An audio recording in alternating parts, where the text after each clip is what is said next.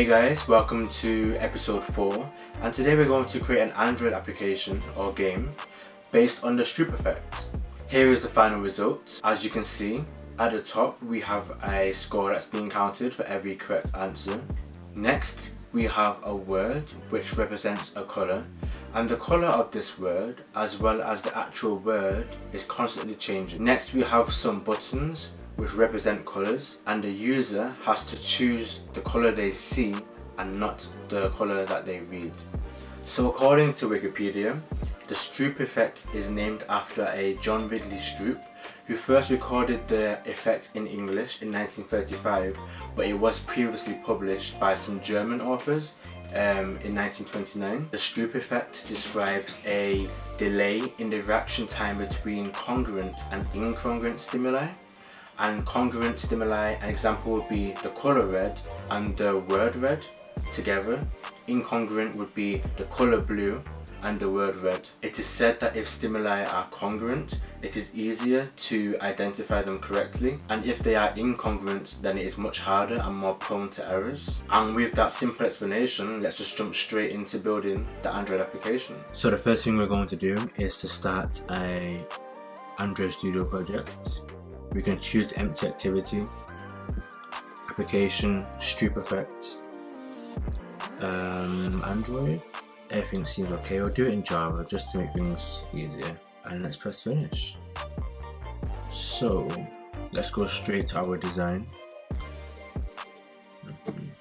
So this is what we have so far. So now that we're here, let's quickly cut away and discuss our design approach. Okay, so please forgive my handwriting and drawing skills. The idea of the game is that you choose the colour that you see and not read, which will probably make it a lot easier for children who cannot read. So this is how the application will be laid out. We'll have the score at the top, then the incongruent stimulus, which will be the name of the colour, which will be different to the actual colour. So for example, red will be stated but the actual color will be blue or yellow or orange etc then we'll have some buttons which will represent colors and the idea is that the user chooses the color that they see.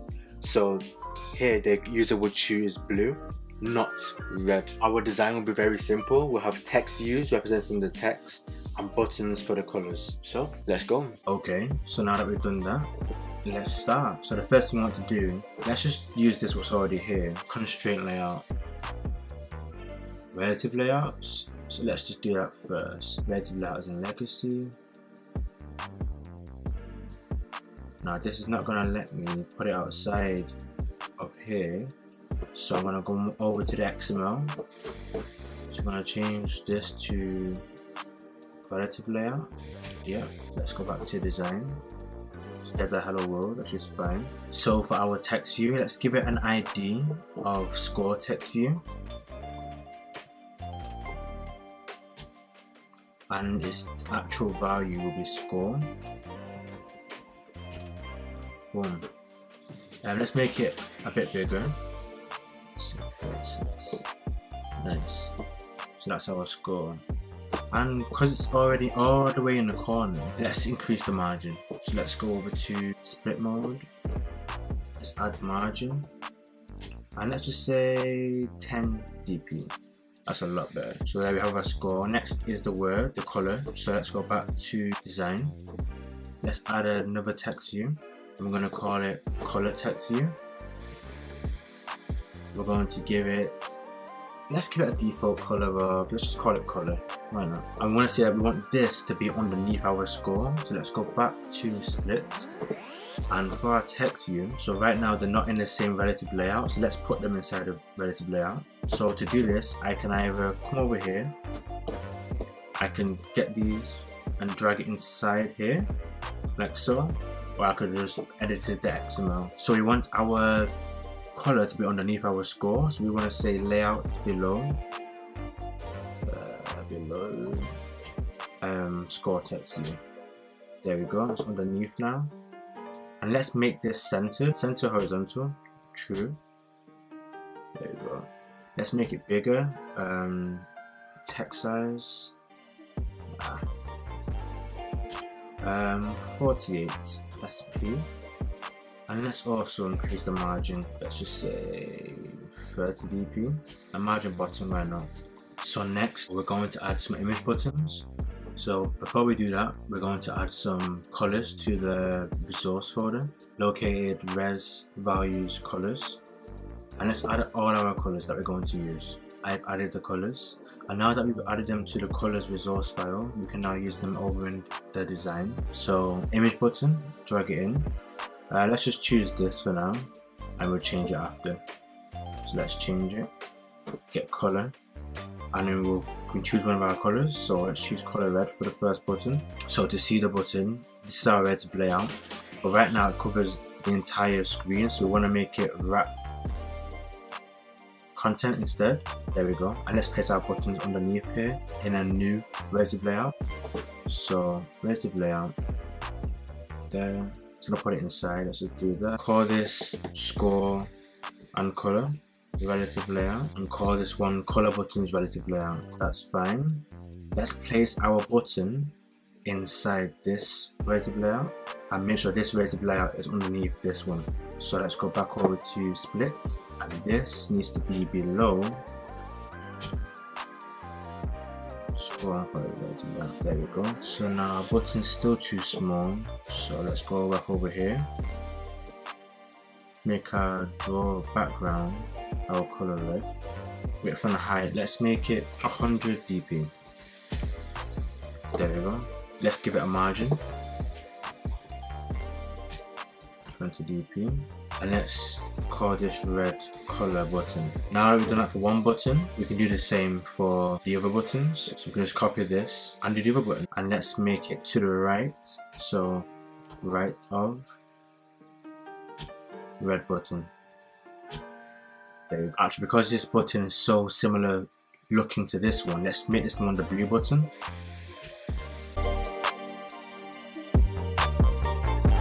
So now that we have the top row done, let's do the second row.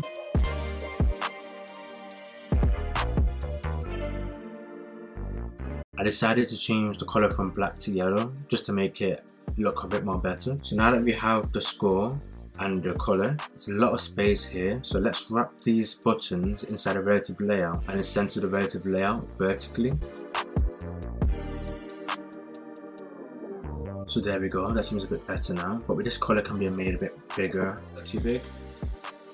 Oh yes, nice. There we go. So now that we've finished the design, let's go straight to the code.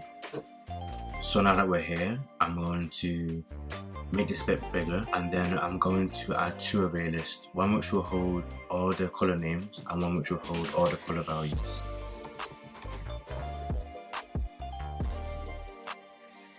One is of type string for the color names and one is of type integer to hold the color values.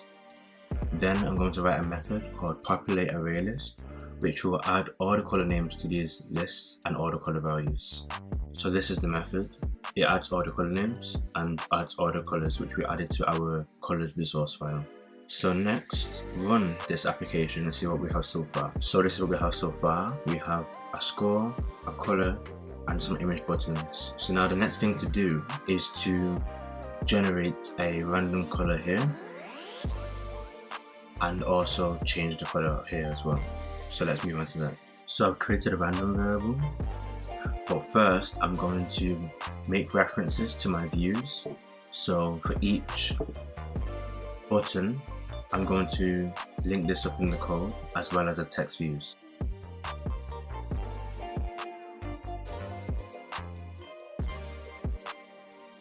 So I've defined my text views and image buttons as fields, time to link them up. So now that I've set up the references to the views, I've just got to call this method. So let's do that. Perfect. It's called populate array method, array list methods as well. So this is how we get a random color. We use the random variable to generate a random number. We then get a random word from the, our color names array list, such as red or orange. We then set our text view to be that word. And then we do the same thing for the actual color this time. And then we set the color of that text view to be that random color value. So let's call this method and test that it works. So we have purple and the color is green green and yellow orange and orange and so on so now attach action. So when we press this button, the score will increase if we get it right. So we're going to create a generic on click for the image buttons. So and then we're going to initialize this in our setup views. We're going to call it setup views and listeners.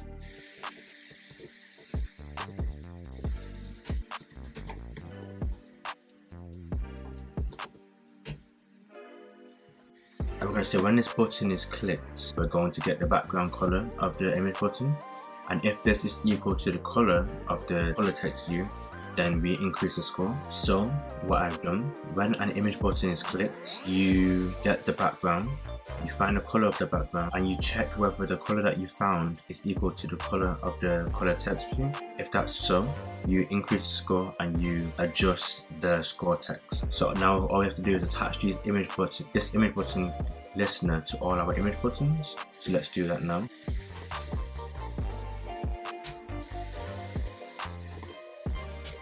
Okay, now that I've done that, let's test it and see whether it works. So, yellow, that's right. Score 1 yellow again. Ah I'm not constantly calling the get random color method so let's do that quickly. So every time the score increases I want to change the color. It's orange that's correct. Orange that's not correct it's green so I click green. Blue that's correct orange again ah orange red, yellow, red, orange, green, yeah. So what we can do is maybe set up some kind of game over if you get something wrong and say, hey, you got so and so.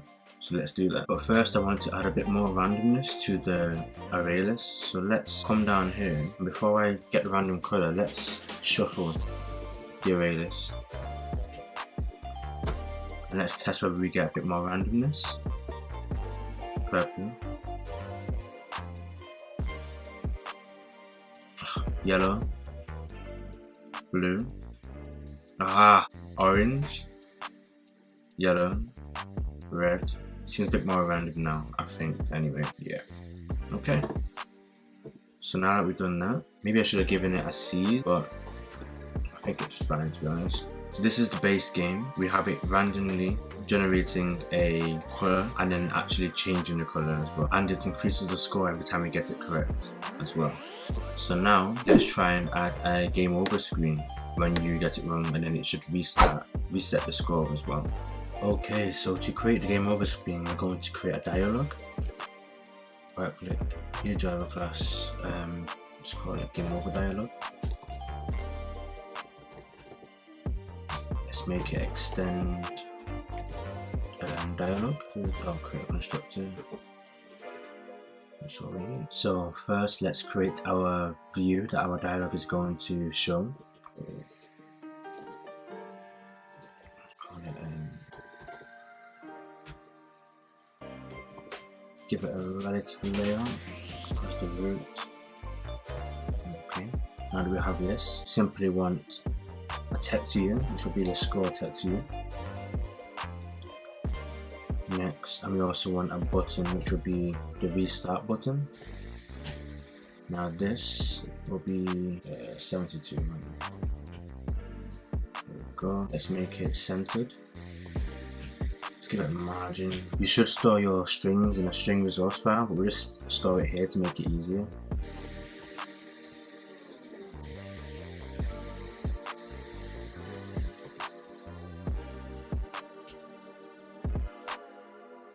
text alignment center. Let's get our button sorted out. Center it as well. Let's make it big.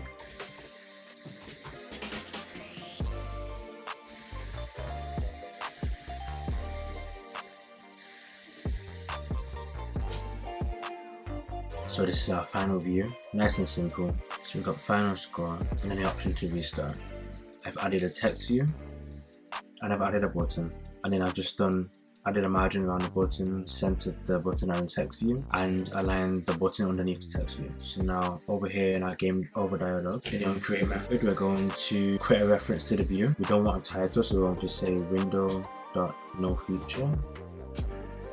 And a set content view. So basically what is shown inside the dialog, and that will be our layout we just created. Write a method that we did before, set views and listeners button, restart button.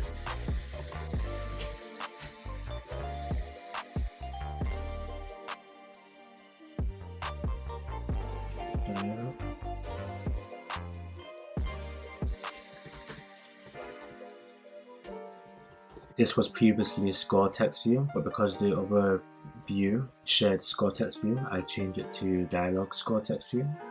And then we just want to add a on-click listener for our button you know, when it's clicked it should basically reset. So we're gonna say dismiss for now. So we're gonna store a reference to our context.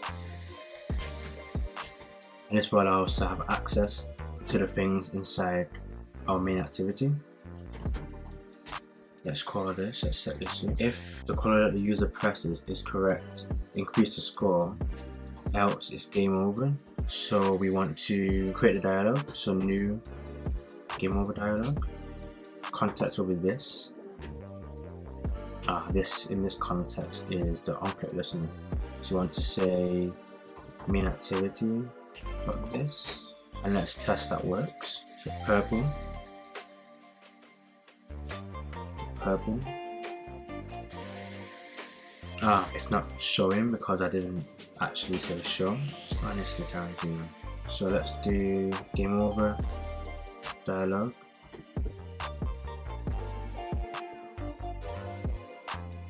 And then dot show. There we go. So I've got cancelable, set cancel. There we go, false. That means we can't dismiss it and continue with the game. So now so there we go, final score 0. We haven't set this yet and that should for now dismiss it but ideally it should restart the game. So let's make it work.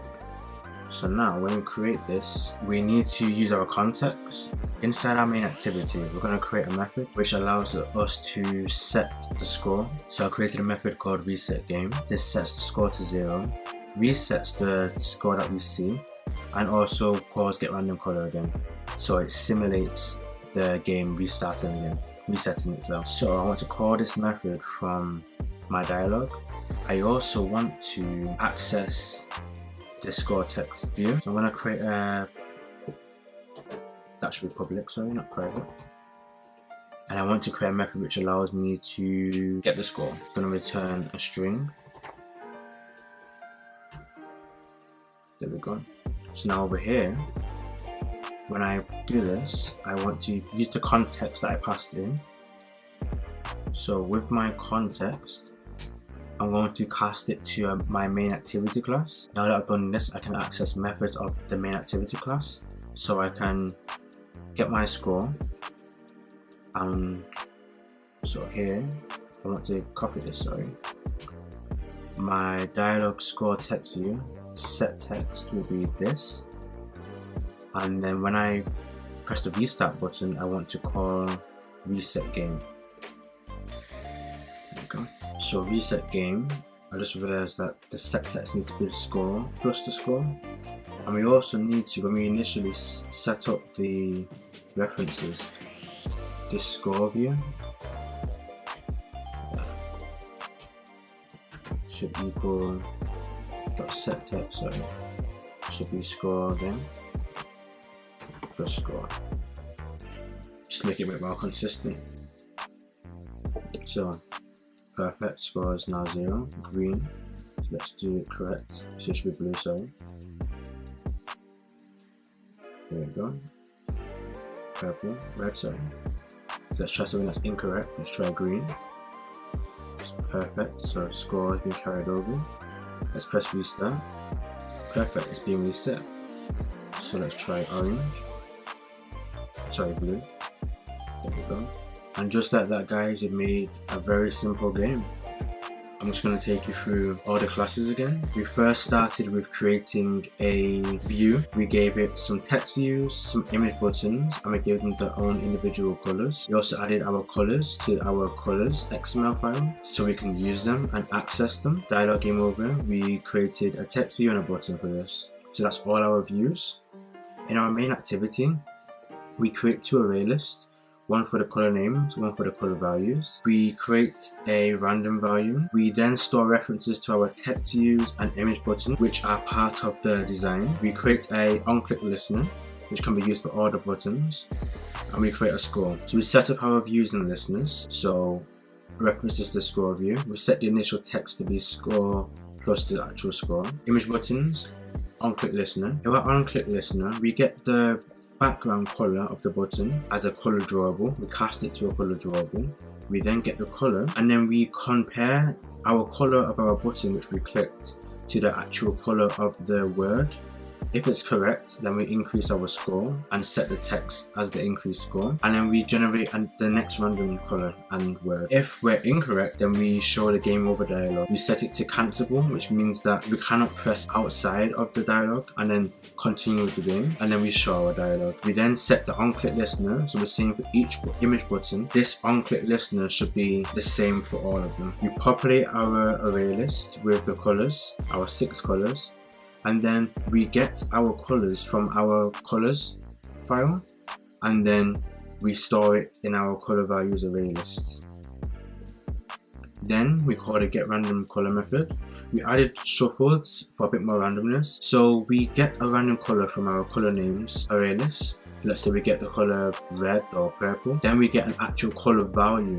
So green or yellow. Then we set the text to be the, our random color we chose and the actual color of our word to be color value that we chose. And we have a reset game method. So when we press the dismiss button of the dialog it sets the score back to zero updates the actual text that we see and then basically calls the next random color again and this get score just allows us to access the score text view from the dialog. In our dialog we've just got a constructor in which we save the content. We set our content view to be the view that we created and then we call set up views and listeners. This creates a reference to the restart button and the dialog score text view and then it sets the score text view to be whatever the score is of the main activity. Then when we press the restart button, it calls reset game and then dismisses the dialog. And that's as simple as it is guys. Hope you guys learned something and you saw a quick insight into Android development but this has just been a nice and quick way to create a game based on the Stroop effect. Hope you guys enjoyed and part 2 of this will be the same game but for iOS instead. So look forward to the next video. Thanks guys. I hope you guys enjoyed this episode and learned something. And part 2 will be coming in which we build the iOS equivalent of this application. So like and subscribe for more. See you.